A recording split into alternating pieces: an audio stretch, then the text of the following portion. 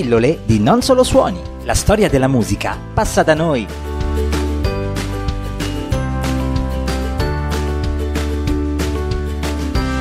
Ben ritrovati, è dei giorni scorsi la notizia della scomparsa di Nick Cayman dopo una malattia. Ebbene, nel corso delle ore e proprio dei giorni successivi all'annuncio sono arrivati anche i commenti e racconti su questo artista che è icona degli anni Ottanta. Ad esempio, Madonna ha ricordato l'amico attraverso alcune parole pubblicate sul proprio profilo Instagram, dove si è letto è straziante sapere che te ne sei andato, sei sempre stato un essere umano gentile e dolce e hai sofferto troppo. Spero che tu sia più felice ovunque tu sia ha scritto la star ricordando l'amico e collega scomparso 59 anni a causa di un tumore. Nick Cayman è diventato noto al grande pubblico grazie a uno spot di jeans, lo ricordiamo. Beh, in quell'occasione Madonna lo aveva notato e si era offerta di produrre per lui il suo primo singolo, Each Time You Break My Heart.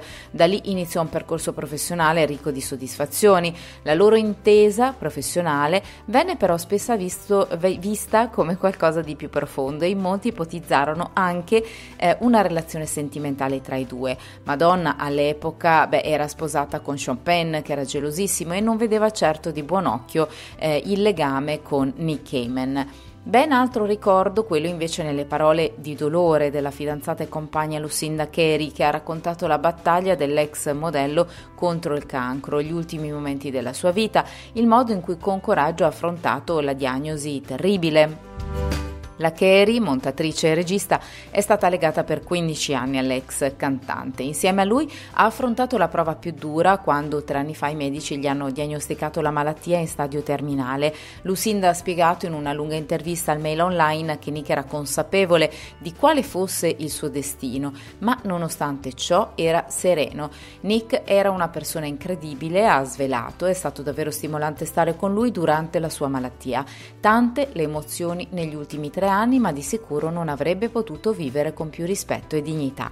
Per ricordarlo abbiamo scelto un brano del 1988, Tell Me, che era tratto dall'album US e lo abbiamo scelto proprio perché la cantante Madonna vi partecipa come seconda voce nella extended version invece pubblicata sul singolo Maxi e nell'album Loving You, ecco che canta il ritornello da solista verso la fine della canzone.